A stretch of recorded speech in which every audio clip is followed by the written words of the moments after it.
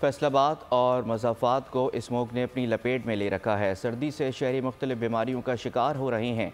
मजीद बता रहे हैं नुमाइंदा बोल न्यूज़ राना बिलाल।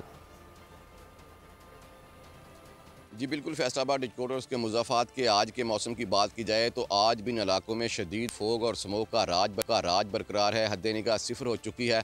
मरूफ सड़कें वीरान हो चुकी हैं फैसलाबाद और उसकी सराउंडिंग मोटरवेज को शा, सरे शामी ट्रैफ़िक के लिए बंद कर दिया गया था।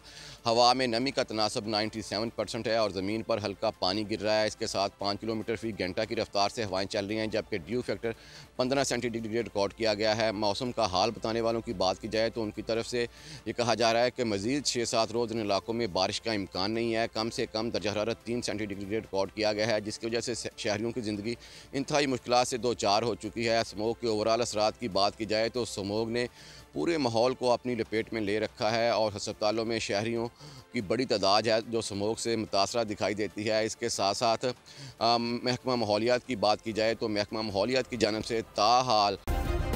सब्सक्राइब करें और बेल दबाएँ, ताकि कोई खबर रह न जाए।